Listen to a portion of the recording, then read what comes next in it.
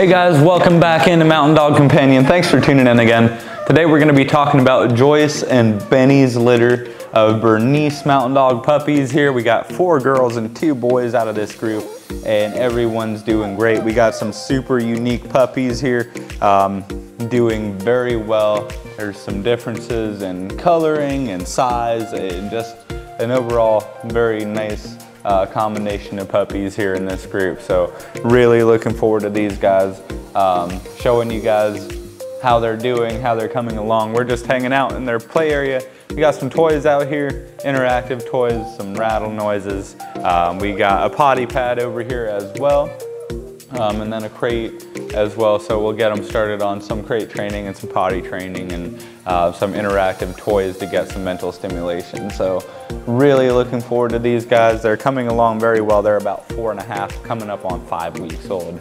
Um, and everyone seems to be doing very well.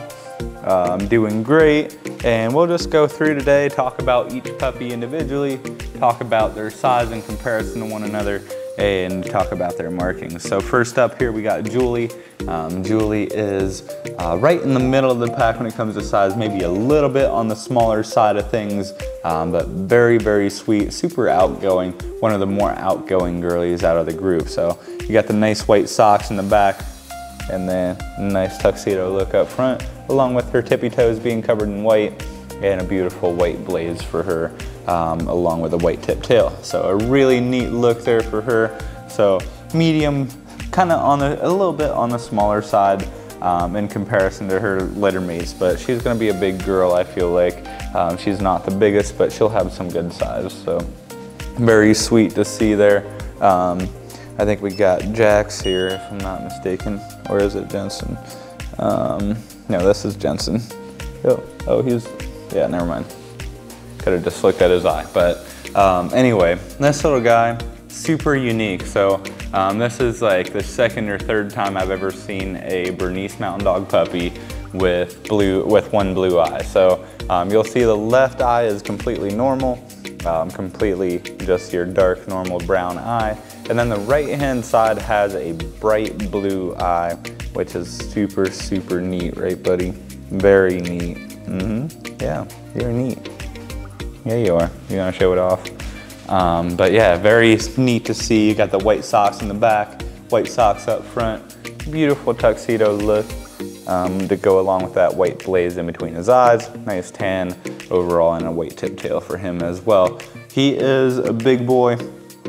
He's a very chunky guy. Him and uh, Jax are very similar when it comes to size.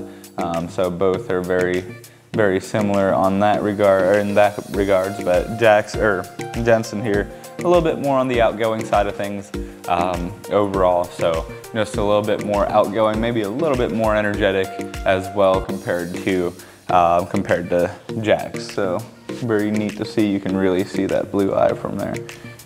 um, this little guy, but very neat to see. So again, Jensen back here with the blue eye.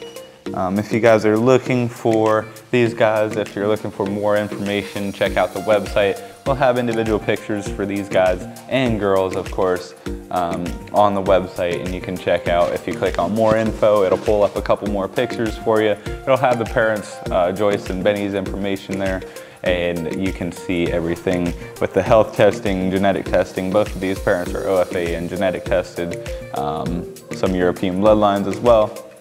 So very neat to see. So Jordan over here, I think she she crept away, didn't she?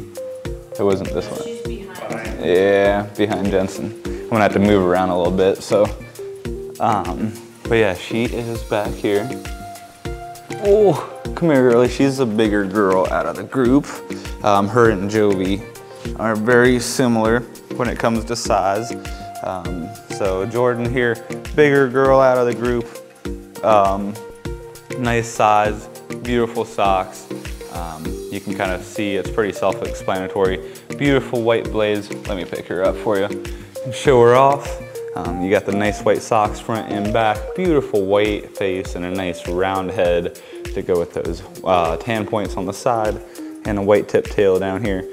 Um, so very neat to see, but beautiful size for her. Um, again, that's Jordan. She's more laid back, um, a little bit more on the laid back side overall. So, um, but yeah, very neat to see.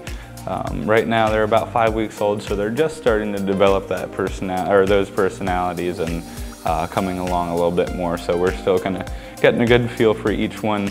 Um, most of the time it looks like this. They're starting with playtime and then five minutes later they're all asleep and taking a nap. So literally everyone's just falling asleep right now. We just got done with pictures, um, so just finished up with that. I'll move on to the sleeping beauty over here. Um, her name is Jada, and no, not Jada, that's Jax. Yep, that's Jax. Uh, Jax over here right beside the crate, got the nice white blaze. Um, him and Jensen are very similar when it comes to size, um, but he very similar markings. He's got a little bit more weight on his toes up front. Um, the hind paws look very similar. Come here, buddy. Let me grab you real quick and show you all. There you go. So you got white socks in the back, white socks in the front, nice tuxedo look up front, and a beautiful white blaze for him with the white tip tail, but no blue eye for him, so that's the biggest difference between him and Jensen. And then personality-wise, um, just a little bit more laid back than Jensen. He's just more chill, uh, more laid back, um, comparing to Jensen. Jensen's more of the outgoing sort um, which is very neat to see. So sorry I interrupted his nap. Hopefully he'll be okay with it. So, um, and we got two more to talk about. I think one's taking a nap back here in the corner. Yeah, you. Just woke you up. Um, pretty sure. Yeah, so this is Jovi the uh, bigger girl out of the group. Her and I think Jordan are very, very similar when it comes to size. Um, she is an absolute poser. Um, when we were doing pictures, she would just sit there and tilt her head and just was an absolute, you can just see right now, she's just sitting there taking everything in. Very, very attentive girl. Um, super, super sweet and more of the laid back teddy bear sort. So you just want to take a nap, right? Yeah, so you got the nice white socks in the back, nice white socks in the front, beautiful tuxedo, nice white head, um, or nice white blaze on the head, and then a really nice, um, really nice amount of tan here on the side. So very neat to see, white tip tail for her as well.